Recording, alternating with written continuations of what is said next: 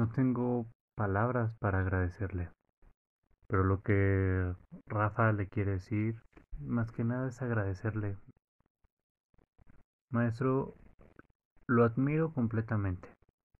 Es la realidad, es la verdad, es desde, no sé si se acuerden, pero yo lo ando cazando desde que vino aquí a Toluca a dar un, una conferencia.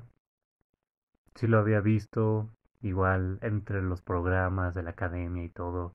Y yo lo veía y, y decía, wow, el maestro. Pero no había tenido la oportunidad de, de verlo, de escucharlo, de saber de su trabajo. Y le puedo decir que me he vuelto su fan. Estoy muy, muy feliz de, de haber tomado por fin clase con usted. Lo amenazo con decirle que, que no es la última. Quiero tomar más clases de todo tipo. Porque me ha marcado como, como artista, como maestro, como ser humano en todos los sentidos. Gracias a usted admiro muchísimo el doblaje. Gracias a usted quiero cantar. Gracias a usted quiero hacer teatro musical. Y le agradezco el tiempo, la dedicación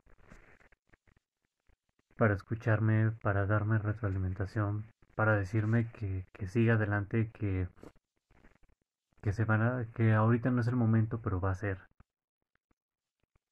Me, me da ese valor y esas fuerzas de decir todavía, todavía tengo cosas que hacer, cosas que, que lograr porque lo puedo lograr y lo voy a lograr. Entonces le quiero agradecer mucho. Me da muchísima alegría verlo y ser parte de esto. Desde ese entonces y desde que lo conocí hace un año, siempre quise y lo busqué para tener clases con usted. Y ahorita que tuve la oportunidad, no me arrepiento, y estoy muy feliz, estoy muy orgulloso. Yo he escuchado a muchas personas decir lo orgullosos que son de, de haber sido sus alumnos. Y lo super confirmo y lo digo yo también. No tengo nada más que decir que gracias.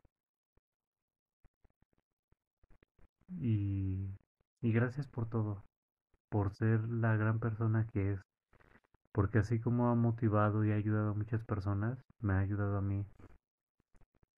Y me siento cada vez más fuerte y con ganas de hacer las cosas. Y ok, tal vez no, no a la primera salgan, pero me motiva más a seguir estando aquí y seguir intentando las cosas. Muchas gracias.